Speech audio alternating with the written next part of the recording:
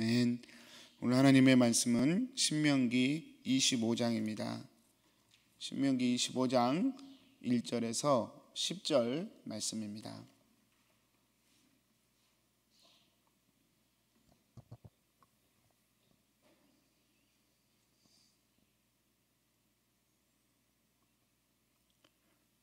우리 한 절씩 읽겠습니다. 사람들 사이에 시비가 생겨 재판을 청하면 재판장은 그들을 재판하여 의인은 의롭다 하고 악인은 정죄할 것이며 악인에게 태형이 합당하면 재판장은 그를 엎드리게 하고 그 앞에서 그의 죄에 따라 수를 맞추어 때리게 하라. 40가지는 때리려니와 그것을 넘기지는 못할지니 만일 그것을 넘겨 매를 지나치게 때리면 내가 내 형제를 경히 여기는 것이 될까 하노라. 곡식 떠는 소에게 망을 씌우지 말지니라. 형제들이 함께 사는데 그 중 하나가 죽고 아들이 없거든 그 죽은 자의 아내는 나가서 타인에게 시집까지 말 것이요 그의 남편의 형제가 그에게로 들어가서 그를 맞이하여 아내로 삼아 그의 남편의 형제된 의무를 그에게 다 행할 것이요 그 여인이 낳은 첫 아들이 그 죽은 형제의 이름을 잊게 하여 그 이름이 이스라엘 중에서 끊어지지 않게 할 것이니라.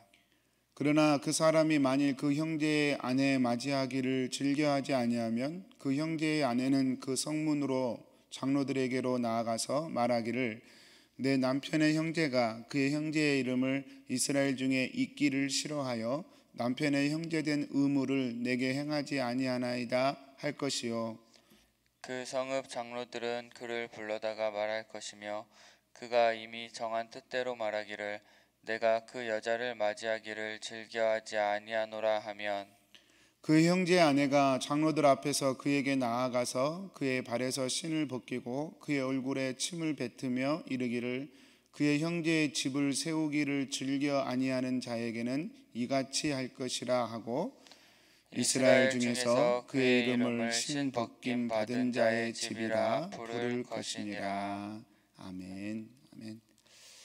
음. 사랑하는 성도님들, 어, 물을 사 먹는다는 건 참 생각하지 못했던 일이에요. 어, 저 어렸을 때 저도 참 기억나는데 아,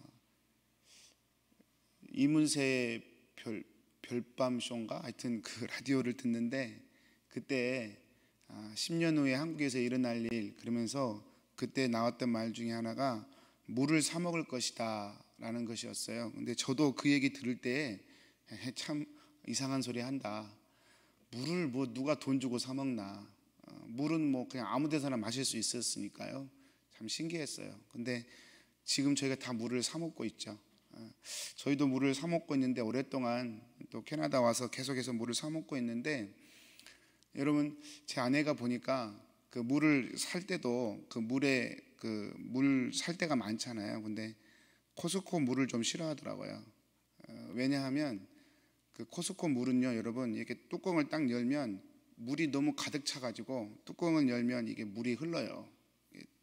끓으면 그래서 좀 싫어하더라고요. 어, 저도 이해가 됩니다. 뭐 그래도 제일 거기에 제일 또 맛있고 저렴해서 늘 코스코 물을 마시는데 끓을 때마다 이 물을 이렇게 그 꼭지를 틀 때마다 물이 좀 흘러요. 그래서 저는 불편합니다. 성도님들 그 물을 담을 때 그 꼭대기까지 꽉 채워서 담으면 항상 이렇게 흐르는 것 같아요. 커피도 맥도날드나 뭐 이런 팀몰튼에서 커피를 사면 어떤 분들은 가끔가다 이렇게 가득 채워줄 때가 있거든요. 그러면 굉장히 마시기가 불편합니다. 예, 컵으로 이렇게 기울여서 마셔야 되는데 그렇게 마실 수가 없어요. 꽉 차가지고 기울으면 흘러버리니까. 그래서 입을 갖다 대죠. 일단 한번 빨아주고 공간을 만든 다음에 이제 이렇게 제가 커피를 마실 수 있어요. 제가 무슨 얘기 드리려고 하냐면 성도님들 커피 잔에 커피는 적당히 담겨져야 우리가 우리가 즐길 수 있습니다. 또 그게 편해요. 가득 채우면 불편합니다. 물병에 물도 여러분 적당히 넣어, 야 우리가 편하게 마실 수 있어요.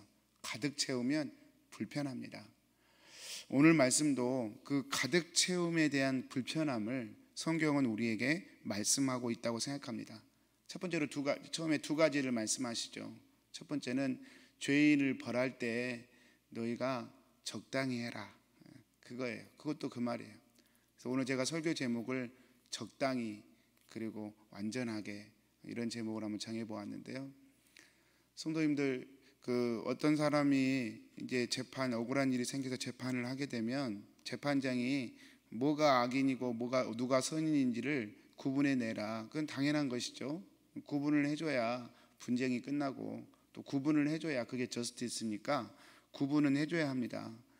그래서 악인이 이제 결정이 되면 악인의 악인에게 벌을 줘야 되는데 그 벌을 주는 것이 여러분 오늘 2절 말씀에 보면 그 죄에 따라 그 수를 맞춰서 태형을 때리는데 40까지는 때리거니와 그것을 넘기지는 말아라 그렇게 말씀하셔요.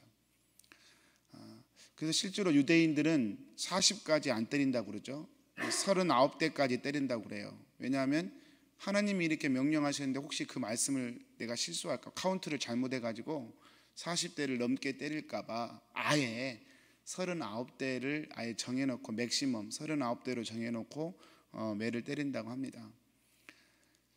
선생님들 이게 무슨 말일까요? 여러분 사람이 한번 분노하잖아요. 감정에 사로잡히잖아요. 그러면 끝까지 갑니다. 사람은 그래요. 여러분 그 죄수를 때리는 사람은 사실은 아무 연관이 없잖아요. 그냥 죄수 죄 그 벌을 집행하는 사람이니까. 근데 그 벌을 집행하는 사람도 죄수를 때리다 보면 이게요 분노 게이지가 안에서 일어난다는 것이죠. 그래서 그 벌만큼 때려야 되는데 자칫 잘못하면 여러분 그, 그 사람을 죽을 수도 있을 만큼 때릴 수 있다는 것이죠. 얼마 전에 미국에서 어제 뉴스인가요? 한 흑인 그 용의자죠. 용의자를 체포하는 과정에서 목을 이렇게 무릎으로 5분간 심하게 눌러가지고 어, 동영상에 보니까 이분이 아, 나숨 막힌다고 막 어, 제발 좀 날 좀 숨쉬게 해주려고 이렇게 하는데도 아랑곳지 않고 아랑곳하지 않고 무릎으로 한 5분 정도 이 무릎, 목을 눌러서 이 사람이 결국은 사망했다 이런 뉴스가 뜨더라고요. 여러분 이 죄수를 벌하는 것도요. 그래서 법의 한둘이 내에서 지나치지 않도록 성경은 지금 그걸 제한하고 있는 것입니다. 성도님들 이게요. 우리 마음속에 이 분노라고 하는 것이 정말로 이 불과 같아요. 이게 조절이 안 되는 것이죠. 어떤 불이나 어떤 악을 볼 때에 여러분 이것이 감 이게 조절이 안 돼요. 어떤 어떤 상처나 어떤 눈물, 어떤 분노되는 그런 죄악들을 볼 때에 여러분 우리가 그것들을 보면서 이렇게 좀 조절할 수 있고 또 통제할 수 있고 또 그것만큼 화를 내고 그것만큼 또 다른 해결책을 찾아보고 이래야 되는데요. 우리 인간의 심리가 그렇지 않다는 거예요. 작은 일을 봐도 태산처럼 분노하는 게 우리의 우리의 심리예요. 그래서 엄마 아빠들이 아이들에게 화를 낼 때도 사실 며칠 지나 보면 아무것도 아니잖아요. 부부 싸움도 여러분 며칠 지나 보면 정말 아무것도 아니잖아요. 근데 그때는 그게 태산처럼 커 보여요. 왜 그래요? 우리의 감정이라고 하는 것이 우리를 속여요. 그래서 아무것도 아닌데 그냥 그 정도의 일인데 그 정도의 화만 내면 되는데 이게 조절이 안 되는 거예요. 여러분 오늘 말씀에서 죄인들에게 벌을 가할 때도 적당히 해라. 정해놓고 해라. 정해놓고 해라. 왜 그렇습니까? 그렇지 않으면 분노에 지나치게 사로잡히게 되고 결과가 어떻게 돼요? 형제를 경히 여기게 되는 것이다. 죄인이라고 할지라도 내 형제인데 이것을 경히 여기는 더큰 죄죠. 그렇게 갈 수 있다는 것이죠. 저는 오늘 말씀을 그렇게 생각하고 싶어요. 권리는 적당히 부려라. 권리는 적당히 부려라. 그리고 책임은 할 수만 있으면 완전하게 지려고 해라. 이것이 참 지혜로운 삶이라고 생각합니다. 성도님들 이렇게 살려고 예를 쓰면 예수님 닮아가겠죠. 어디서든 따뜻하고 온화한 사람이 될 수 있겠죠. 그렇게 저와 여러분이 나아갔으면 좋겠어요. 권리는 적당히 요구하고 책임은 완전하게 하려고 하고 그렇게 우리의 삶을 한 걸음 한 걸음 조정해 가면 우리의 탐욕은 조절할 수 있고 또 우리가 마땅히 해야 할 빛과 소금의 역할은 더 감당할 수 있고 사랑해야 할 사람 사랑할 수 있고 배려해야 할 사람 배려할 수 있고 세울 사람 세울 수 있는 그런 일들이 일어날 것이라고 믿습니다. 심지어는 소도 소도 어, 추하 수술을 할 때 여러분 곡식을 떤다는 것은 소가 그 옆에서 있는 거죠. 곡식을 떨면 곡식이 떨어지지 않겠어요? 바닥에 그러면 소도 이게 짐승인지라 본, 본능이 그걸 먹으려고 하겠죠.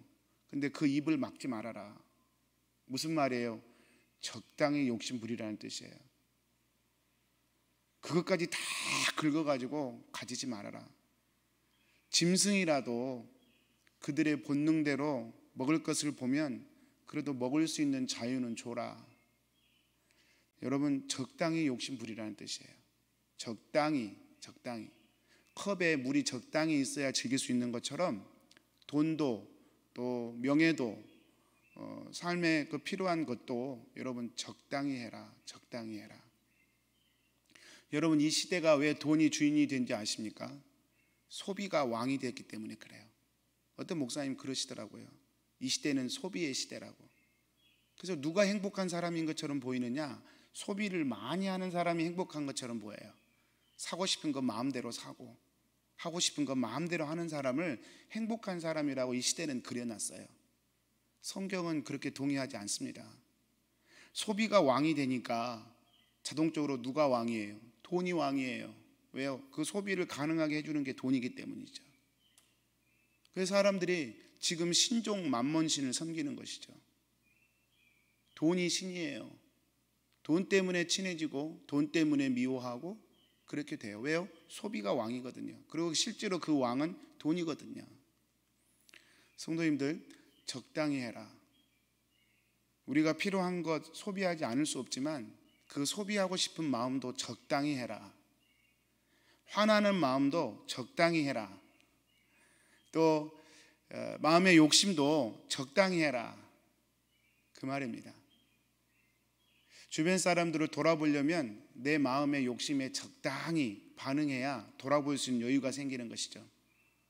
내 욕심, 내 생각, 내 권리 계속해서 추구하는데 다른 사람에 대한 배려가 어떻게 생기겠어요? 생길 수가 없죠. 오늘 성경은 역시 그와 같은 권리는 적당히 해라. 적당히 할수록 삶은 아름다워진다. 라고 하는 교훈을 우리에게 준다고 생각합니다. 오늘 말씀의 결론적인 부분이 계대 결론이죠. 계대 결론. 좀 발음이 좀 조심해야 돼요. 계대 결론. 성도님들 이것은 우리가 잘 알고 알고 있죠. 어, 어떤 결혼한 부부가 있는데 남편이 일찍 죽었어요. 후사가 없이. 그러면 그 동생이나 그 형제가 이 죽은 형제의 아내를 아내로 취해라. 그래서 근데 이게 그 죽은 형이나 동생의 가문을 이어주는 것이죠. 이게 어, 고엘 제도고 고엘 제도라고 그러고 또 계대 결혼이라고 하기도 합니다. 대표적인 예가 루키에 나와 있죠. 루키의 보아스가 그렇게 들어가요. 성도님들 제가 한번 설교해 드린 적이 있는 것 같은데 그 참 보아스 보아스의 이야기를 보면 이 계대 결혼의 책임이 얼마나 무거운가를 알 수 있어요. 이거 안 하려고 그래요 사람들이. 왜냐하면 그 죽은 형제의 아내와 결혼을 하게 되면 형수나 재수 씨가 되는 거죠. 결혼을 해서 이제 그 혈통을 잇게 되면 그 책임을 전부 다 자기가 져야 되는 거예요. 그리고 그 사람의 모든 재산이나 그 아들의 모든 이름은 자기하고는 아무 상관없이 다 죽은 형제의 이름으로 지켜줘야 되는 거예요. 그러니까 쉽게 얘기하면 권리는 하나도 없고 의무만 냅다 지는 것이 이 계대 결혼이에요. 고엘 제도고요. 왜냐하면 약자 절대적인 약자가 돼버렸으니까 무조건 보호해 줘야 되는 것이 이이그 그, 고엘 제도거든요. 계대 결혼이거든요. 그러니까 안 하려고 그래요. 그래서 여러분 루키에 보면 나오미의 두 아들, 두 아들. 첫째 아들이 죽었는데 그 두 번째 아들이 그래서 죽잖아요. 그 악, 악 때문에. 유다의 아들, 죄송합니다. 유다의 아들이 그렇게 해서 죽잖아요. 유다의 아들이. 첫째 아들은 악해서 죽고 두 번째 아들은 그 형수와 계대 결혼을 하다가 그것이 싫으니까 형의 이름으로 가문을 이어주고 아들을 낳으면 또 키워주고 양육비 지출해야 되고 돌봐줘야 되고 근데 하나도 내 것은 없어요. 이게 싫으니까 형수에게 들어가서 땅에 설정했다 그런 표현이 성경에 정확히 나와 있어요. 그 가게의 생명을 가, 그 가정의 생명을 이어주는 걸 싫어한 거예요. 그게 다 부담이니까. 그래서 그게 악해서 죽었죠. 유다의 둘째 아들이. 그래서 이거 하기 싫어해요. 이건 다 의무만 만땅 있는 거거든요. 그래서 하기 싫어하는데 룻기에 보면 이 룻이 보아스에게 자기를 맡기죠. 이렇게 추수 때 보아스가 있는데 그 이불 옷자락으로 슬그머니 눕죠. 그 말은 당신이 나의 보호자이십니다. 저희 같은 저 이 과부의 신세를 당신이 좀 불쌍히 여겨 주십시오. 우리의 보호자가 되 주십시오. 프로포즈 하는 거거든요. 보아스가 그것을 눈치챘어요. 그래서 보아스가 이 루스에게 따라 이제 네 의도를 알았으니까 집에 가서 기다려라 이렇게 말을 하고 보아스가 한 행동이 뭡니까? 이 고엘 제도를 지키기 위해서 그 루스의 남편 죽은 루스의 남편의 가장 가까운 친척을 찾아가는 거예요. 그 찾아가서 얘기합니다. 어, 너가 지금 루스의 이야기를 들어서 알 텐데 너가 지금 제일 가깝다. 이가 결혼하겠느냐? 그렇게 물어요. 그랬는데 그 사람이 처음에는 한다고 그래요. 어, 할게. 그 젊은 처자 루, 어, 그 모함 여자 나 결혼할게. 그래요. 근데 그 다음에 보아스가 또 이런 말을 합니다. 그래, 결혼하는 거 좋아. 근데 결혼하면 네가 그 가문을 다 책임져야 돼. 그 빚도 다 갚아줘야 되고 다음에 그 사람의 죽은 사람의 이름으로 그 가문을 네가 세워주는 거 수고하는 거 알지? 이걸 한번 확인해 줘요. 그러니까 그때 룻기에 정확히 표현되어 있어요. 그 사람이 생각이 바뀌어요. 뭐라고 얘기하면 나한테 손해가 있을까 하여 나는 이거 못하겠다 그래요. 그게 룻기에 나온 이야기입니다. 그때 이, 이 보아스가 성문의 장로들 앞에서 이 사람을 데리고 가서 확인을 하죠. 신발을 벗고 이제 기업을 물을 자, 아, 아니 책임을 물은 자 이런 닉네임을 신발을 벗어서 그 집을 그렇게 부르게 돼요. 오늘 이야기도 그 이야기잖아요. 계대 결혼을 해서 책임을 완수해야 하는데 예, 부담이 돼서 싫어요. 그럼 어떻게 하라고요? 신발을 벗겨라. 그리고 얼굴에다 침을 뱉어라. 굉장히 모욕적인 일이잖아요. 그러면서 그 집을 이제 그렇게 부르라고 하는 거예요. 그의 집은 신 벗김 받은 자의 집이다. 이 말은 해야 될 책임을 하지 않은 집이다라고 하는 의미로 그 이름을 그렇게 부르라고 하는 거예요. 여러분 참 치욕스러운 일이죠. 그런데 이렇게 하는 했던 사람이 룻기에 나와요. 여러분 근데 성경은 참 인생을 정리할 때 참 재미있게 정리하잖아요. 이렇게 자기 책임을 회피하고 자기 이익만을 향해 달려갔던 그 룻기의 그 사람을 성경은 뭐라고 불러요? 아무개여 그래요. 아무개여. 보아스가 그 사람을 부를 때 아무개여 그래요. 제가 성경 그때 어, 묵상할 때 여러분 보아스가 그 사람의 이름을 몰랐을 리가 없잖아요. 같은 베들레헴 성에 살았었는데 그 좁은 베들레헴에서 왜 몰랐겠어요? 친척인데 그 이름을 왜 몰랐겠어요? 이름을 불렀어요. 불렀을 거라고 확신해요. 그런데 성경은 그 사람의 이름을 이름을 얘기하지 않고 아무개여라고 기록해 버린다고요. 아무개여. 우리 예전에 뭉쳐야 찬다 그 축구 보니까 아무나 차 그래서 아무나 원투 한참 재밌게 웃었잖아요. 그냥 그냥 그냥 아무나 해 아무개요 이렇게 의미 없는 인생으로 성경이 기록해 버리잖아요. 반대로 보아스는 그 부담을 다 짊어지잖아요. 인격이 된 사람이죠. 그래서 이 사람은 그 부담을 다 짊어집니다. 여러분 보아스란 이름의 뜻은 큰 자라는 뜻입니다. 큰 자, 큰 사람이란 뜻이에요. 성경은 그 계대 결혼의 책임을 테이크 오버해서 그 책임을 완수하려고 자기 희생을 각오한 보아스를 이 사람은 큰 사람이다 부르는 거예요. 반대로 좀 비난을 받아도 까짓것 내 이익만 챙기자. 이렇게 책임 앞에 한없이 작아져 버린 그 사람을 성경은 아무개요 이렇게 처리하는 거예요. 사랑하는 성도님들, 오늘 또 저와 여러분이 삶을 잘 살아야 합니다. 그 삶을 삶을 잘 살 수 있는 비결은요. 의외로 간단합니다. 권리 앞에서는 작아지는 거예요. 남편의 권리는 좀 작게 행사하는 거예요. 가정에서. 이게 참 저도 죄송하게 참 부끄럽지만 남편의 권리는 작게 행사하는 거예요. 아내의 권리는 줄이는 거예요. 가정에서. 아내니까 이런 대접 받아야 되고 이렇게 해야 되고 예, 그 권리를 조금 줄이시는 거예요. 그리고 책임은 좀 늘리시는 거예요. 그럼 목사님 이 스트레스 어떻게 받아 어떻게 감당하고 살아요? 성도님들 내 힘으로 안 되고 내 본성으로 안 되지만 그 안 되는 것에 순종하려고 주님이 말씀하시니까 순종하려고 엎드리는 것 그게 그게 신앙 아니겠어요? 그리고 그렇게 가는 사람을 하나님이 어떻게든 붙드실 거 아니에요? 그렇게 순종하고 가는 사람에게 스트레스 만땅 받아 가지고 더 안 좋게 하진 않을 거예요, 하나님께서. 그렇게 순종하고 가는 사람에게 하나님이 주시는 평강이 있고 기쁨이 있고 또 인도하심이 있고 채워주심이 있을 거예요. 사랑하는 성도님들, 오늘 또 말씀을 마치겠습니다. 성도님들, 권리는 내가 마땅히 누려야 되고요. 누려도 다른 사람이 말하지 않습니다. 근데 성경은 얘기합니다. 권리를 누리되 적당히 누려라. 적당히 누구를 미워할 수 있는 권한 나한테 있죠. 또 누군가를 판단할 수 있는 권한 나한테 있죠. 뭐내 내 입이니까 왜 못해요? 하지만 적당히 해라. 적당히 해라. 내가 해야 할 책임은 다 피하고 싶죠. 할 수만 있으면 피하는 것을 복이라고 얘기하고 싶죠. 근데 책임 앞에서는 한 걸음 더 나아가라. 한 걸음 더 나아가라. 공동체에 대한 책임 한 걸음 더 나아가서 져라. 이웃에 대한 부담 한 걸음 더 나아가서 져라.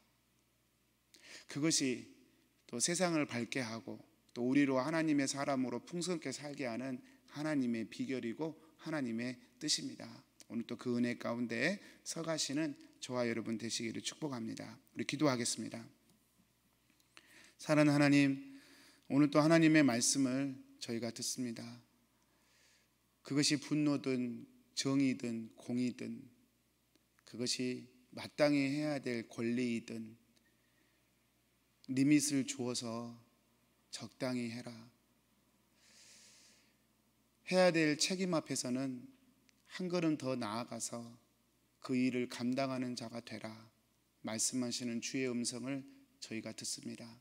주님, 조금 더 손해보고 조금 더 하나님 책임지는 사람이 되기를 원합니다. 오늘 또 공동체에 허락하신 주님의 사명 한 걸음 더 나아가 감당하는 저희들 되게 하시고 또 나의 이웃들과 또 내 가족들에게 한 걸음 더 나아가 책임지는 자로 설 수 있도록 저희 모두를 축복하여 주옵소서. 예수님의 이름으로 기도합니다. 아멘. 하늘에 계신 우리 아버지여 이름이 거룩히 여김을 받으시오며 나라의 임하옵시며 뜻이 하늘에서 이룬 것 같이 땅에서도 이루어지이다. 오늘날 우리에게 일용할 양식을 주옵시고 우리가 우리에게 죄 지은 자를 사하여 준 것 같이 우리 죄를 사하여 주옵시고 우리를 시험에 들게 하지 마옵시고 다만 악에서 구하옵소서 대개 나라와 권세와 영광이 아버지께 영원히 있사옵나이다. 아멘.